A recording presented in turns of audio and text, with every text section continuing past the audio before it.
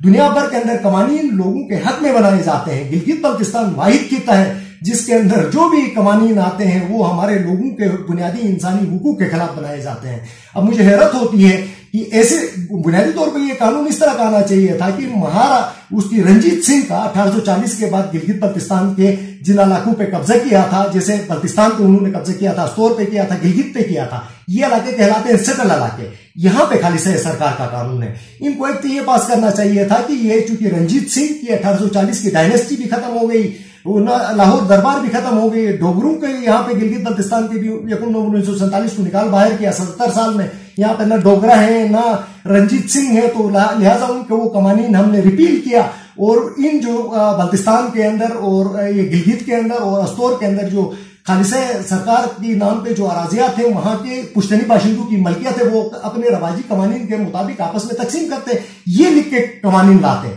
अब इन्होंने टेक्निकल करके क्या किया है कि जी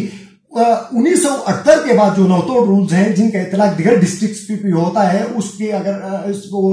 आर्टिकल ट्वेंटी पढ़ेंगे तो उसके अंदर अच्छा लिखा हुआ कि उसको हमने रिपील किया। वेरी नेक्स्ट क्लॉज के अंदर लिखते हैं कि उन्नीस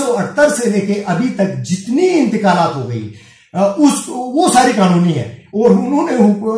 उसकी गवर्नमेंट की लेन की तारीफ़ के अंदर लिखा हुआ है कि वो तमाम तर अराजियात जो हुकूमत गिलगित बल्तिस्तान को अलाट हुई हो, वफाकी हुकूमत को अलाट हुई हो, इदारों को अलाट हुई हो, अथॉरिटीज को अलाट हुई हो, या किसी भी शख्स को अगर अलाट हो गई है तो वो सारी कानूनी इन्होंने मतलब उसको जस्टिफाई करके लीगल डिक्लेयर किया। अब झगड़ा ही गिलगित बल्तिस्तान के अंदर इस वक्त उन अराजियात पे हैं जिनको खालिसा सरकार के नाम पे सरकारी इदारों को अलाट हो गई या हुकूमत को अलाट हो गई या वफाकी हुकूमत को अलाट हो गई, उन पे अवाम और सरकार के दरमियान मुकदमात चल रहे चल रहे हैं। जैसे आप लोगों ने देखा मीडिया में हालिया इसी हफ़्ते के अंदर सरफरंगा के अंदर बहुत बड़ा एक तनाजा सामने आया मकबूम दास का तनाजा आया, बेशुमार इस किस्म के तनाजात है, राइट? तो इन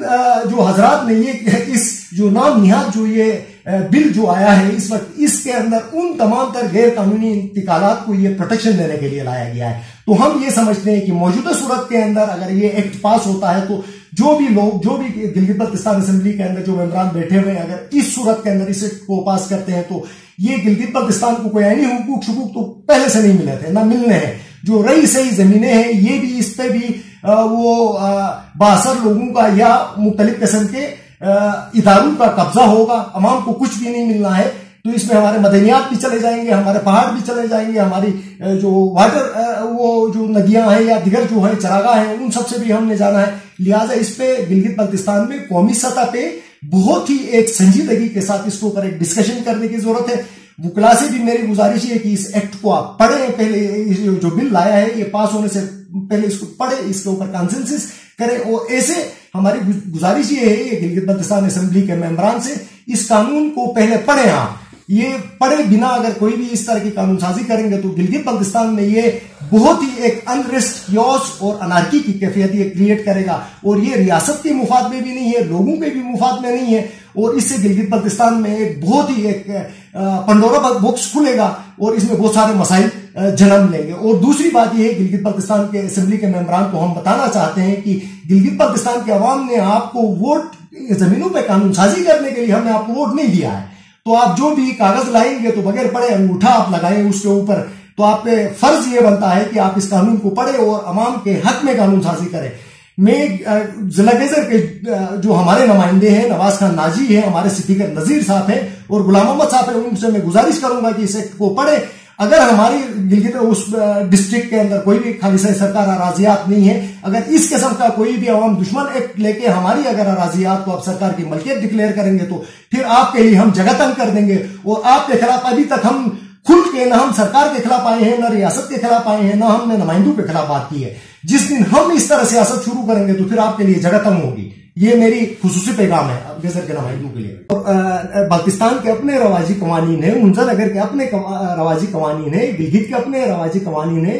गजर के अपने रवाजी कवानीन है तो लिहाजा इसके अंदर वाजह तौर पर लिखना चाहिए कि ये जो इम्पार्टेबल लेंस है, जिसके अंदर पहाड़ है, चरागाह है, या वहाँ की मदनियात है, नदी, नाले हैं या इस किस्म के काबिल तकसीम, अगर कोई कॉमन उनकी लैंड है तो उनको कॉमन उनको गवर्नमेंट की मलकियत करार देने की बजाय चूँकि, जो अनसेटल इलाकों के अंदर गवर्नमेंट की कोई वहाँ पर खालिसा सरकार अराजियात नहीं है, बल्कि वहाँ की पुश्तनी बाशिंदों की अराजियात है। तो लिहाजा ये उसमें वाजे तौर पर लिखना चाहिए कि जिन जिन डिस्ट्रिक्ट के अंदर खालिसा सरकार राजियात नहीं है, वहाँ के वो पुश्तनी बाशिंदों की कॉमन मलकियत है और रवाजी कवानीन के मुताबिक हर इलाके के लोग अपने कस्टमर रवाज के मुताबिक वो खुद से आपस में तकसीम करेंगे। न कि कोई एक कलेक्टर उनको एक शराइ की बुनियाद पर वो सनत मलकियत देगा, कल और वो सनत मलकियत तकसीम करेगा। इससे बहुत बड़ा एक फसाद क्रिएट होगा। तो लिहाजा इसका हल ये है। और थर्ड इसके अंदर एक और इंपॉर्टेंट चीज़ ये है कि जितने सब जुडिस मुकदमात है, मिसाल के तौर पर अदालत के अंदर चिलमिस दास का केस है, या इस तरह जितने भी मकून दास का है या सरफरंगा का है इस पर किसी शेर के बच्चे ने मुझे हैरत होती है कि ये एक्ट किस अरस्तू ने ये बनाया है, जिसको बेसिक जो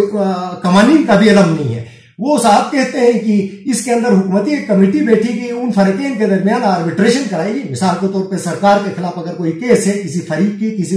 गाँव के लोगों की, उनके दरमियान वो आर्बिट्रेशन पे कहेंगे। अगर वो लोग नहीं मानते हैं, अगर वो कहते हैं कि जी हमें आर्बिट्रेशन हम नहीं मानते हैं तो कमेटी, हुकूमती कमेटी बैठ के फैसला करेगी, कोर्ट में अपना फैसला जमा कराएगा तो अदालत उनका फैसला मानने की पाबंद होगी। ये बुनियादी इंसानी, न सिर्फ़ बुनियादी इंसानी हुकूक की खिलाफ वर्जी है, बल्कि जिस आर्बिट्रेशन एक्ट का वो ज़िक्र करते हैं, उनको शायद उन्होंने पढ़ा नहीं है, उसके भी खिलाफ है। आर्बिट्रेशन लॉज उस सूरत में अप्लाई होते हैं, जब दोनों फरीकें राज़ी हो। तो जब कोई आदमी नहीं मानता है तो एक सरकारी कमेटी उसके ऊपर कैसे फैसला कर सकती है? और अदालतों को कैसे वो अपने उस फैसले का पाबंद कर सकती है? इसके अलावा एक और चीज़ है कहते हैं कि कलेक्टर साहब जो भी फैसला करेंगे तो आप आएँगे कमिश्नर साहब के या एसएमबीआर में जाएँगे उसका फैसला फाइनल होगा आप सिविल अदालत के अंदर नहीं जाएँगे। आप अंदाज़ा लगाइए अगर डीसी के साथ आ, कोई भी अगर गाँव के लोगों का तनाजा होता है तो ला माना डीसी अपनी वो चूँकि सरकारी मुलाजिम है तो वो अपने केस के अंदर सरकार का रिप्रेजेंटेटिव है वो कभी भी जज नहीं बन सकता है। ये नेचुरल जस्टिस के खिलाफ है नेचुरल लॉज के खिलाफ है। तो एक आदमी, कोई भी ये एक नेचर लॉ का सुनहरी उसूल है, भी कोई भी शख्स अपने केस के अंदर जज नहीं बन सकता है। तो ये ड्राफ्ट लिखने वाला जो अरस्तू साहब ने ये लिखा है तो इनको शायद नेचर लॉज का भी लॉ ऑफ़ इक्विटी का भी पता नहीं है। तो इस एक्ट के अंदर बेशुमार ऐसी वो है लकूनाज है और बहुत सारी खामियाज है। इनको दूर करने के लिए हमने आपस में यहाँ पे हमारा हाईकोर्ट बार के अंदर जो मीटिंग हो गई, उसमें ये तय हो गया है कि यहाँ पे कमेटी बैठेगी और गिलगित पाकिस्तान के दस डिस्ट्रिक्ट के तमाम तर सुदूर साहिबान कैबिनेट के लोग आएँगे, हम मीटिंग करेंगे और हुकूमत के इस जो जो एक्ट है, जो बिल है, जो जो लोग लेके आए हैं, इसके अंदर जो खामियाँ हैं, उनको दूर करके हम तजावीज देंगे इनको और वो तजावीज हमारे गिलगित बल्तिस्तान के लोगों के हक में हम तजावीज देंगे।